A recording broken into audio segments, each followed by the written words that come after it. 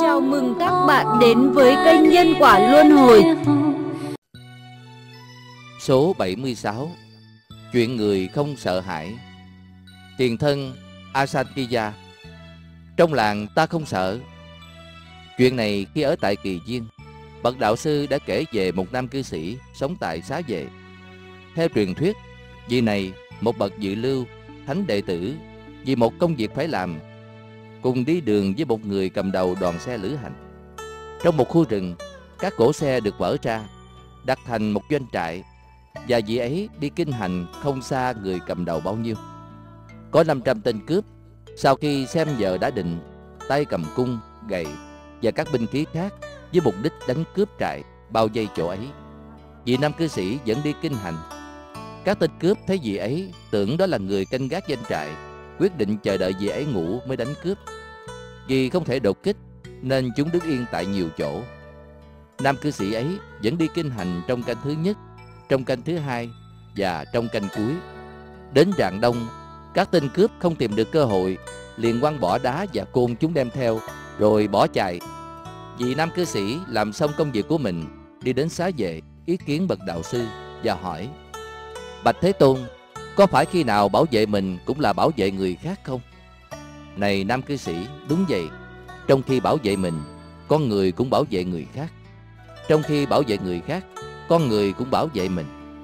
Ôi, khéo nói thay là lời của Thế Tôn. Khi con cùng đi đường với người cầm đầu đoàn lữ hành, con đi kinh hành với một gốc cây để bảo vệ con, và do đó con đã bảo vệ cả đoàn lữ hành. Bậc đạo sư nói, này nam cư sĩ, thuở trước, các bậc thiền trí trong khi tự bảo vệ mình đã bảo vệ người khác. Nói vậy xong, theo lời yêu cầu, bậc đạo sư kể câu chuyện quá khứ.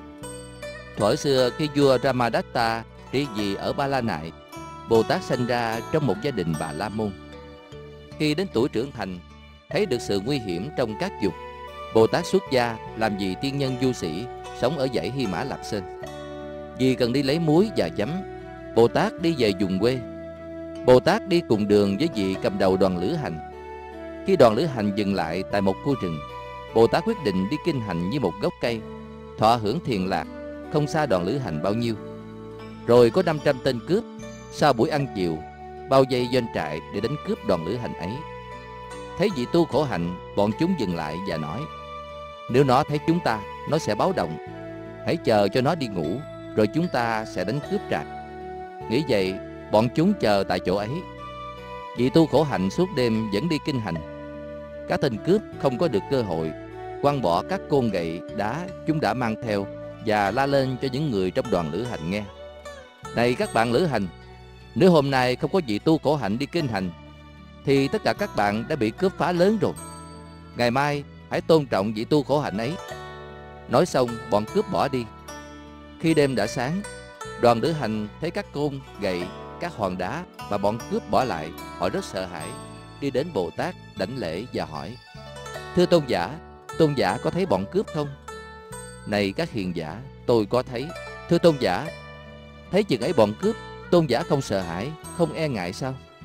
Bồ Tát nói: "Này các hiền giả, thấy bọn cướp, kẻ có tài sản mới sợ hãi, ta không có tài sản, sao ta lại sợ hãi?" Khi sống ở làng hay ở rừng, ta không sợ hãi, không e ngại vì ta không có gì để mất. Sau khi thuyết pháp cho họ, Bồ Tát đọc bài kệ này. Trong làng ta không sợ, trong rừng ta không sợ. Bước lên đường giải thoát với lòng từ, lòng bi. Như vậy, Bồ Tát thuyết pháp với bài kệ này làm các người ấy được quan hỷ và họ cung kính đảnh lễ Bồ Tát. Bồ Tát sống cho đến khi mạng chung, tu tập bốn vô lượng tâm, từ, bi, hỷ, xã và được sanh lên cảnh giới phạm thiên. Sau khi kể pháp thoại này, bậc đạo sư kết hợp hai câu chuyện và nhận diện tiền thân như sau. Thời ấy, các người trong đoàn lữ hành là hội chúng Đức Phật và vị tu khổ hạnh là ta vậy.